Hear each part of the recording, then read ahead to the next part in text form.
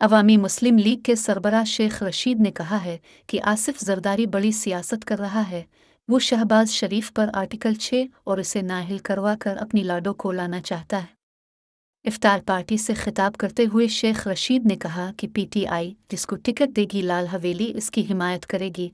हालात काफ़ी संगीन हो गए हैं। पंद्रह जून तक फैसला हो जाएगा कि आइन व कानून के साथ जाना है या जंग व जदल के साथ। रावलपिंडी में सबसे ज़्यादा तालीमी इदारे हमने बनवाए। इलेक्शन हुए और कोई अनहोनी ना हुई तो इमरान खान की हुकूमत बनेगी। सबक वफाकी वज़ीर दाखिला शेख रशीद अहमद ने कहा कि ये पहली नाअहल हुकूमत है जो अदलिया से टकराव कर रही है। पंद्रह में से नौ जजेस एक तरफ़ हैं। ये बेवकूफ़ हैं जिन्होंने अदलिया से टुकर ली है। ये वाहिद हुकूमत से जो टकराव का रास्ता इख्तियार कर रही है। हम आपके गिले की हड्डी हैं। इमरान खान ज़्यादा जिम्मेदारियाँ देना चाहते हैं। हमने उन्हें कहा कि हमें महदूद काम दिया जाए।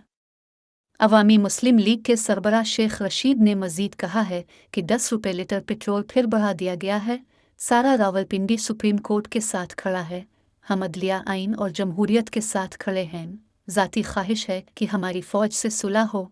इमरान खान की लड़ाई किसी से नहीं, बल्कि सिर्फ़ चोरों और डाकुओं से है।